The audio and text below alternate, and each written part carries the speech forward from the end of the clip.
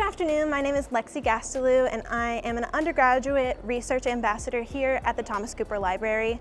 Today I'm going to take you on a little tour of our library systems and I'm going to start here at the help desk, the question desk for our reference librarians. Here, students like myself sit and answer questions from open to close. We are here to help with any printing services or finding your way around the library and help to be a liaison between students and our reference librarians for any of your research needs.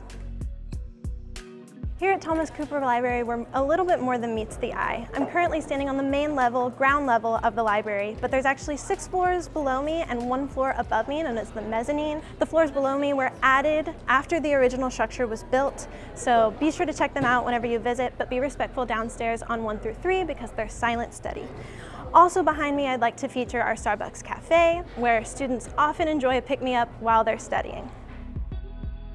Hey guys, it's Lucas Schwartz. I'm a research ambassador at the Thomas Cooper Library, and right here we're standing in front of the Technology Lounge. So at the Technology Lounge, we have the largest amount of desktop computers available to students, many with Adobe Suite and other specialized program capabilities, and we also have a production suite with green screen and podcast studio.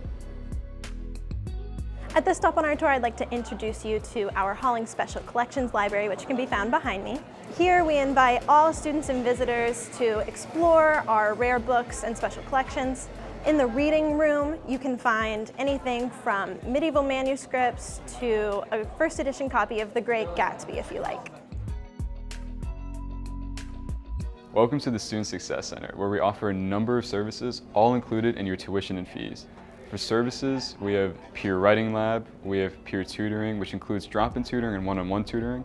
We have supplemental instruction. We have money management for budgeting. We have success consultations for study and test strategies and time management. And we have the Gamecock School Supply for free supplies to all students. All right, friends, we've come downstairs to level four for our final stop on today's tour. Here on level four, I'm gonna introduce you to one of the most popular choices for study in the library.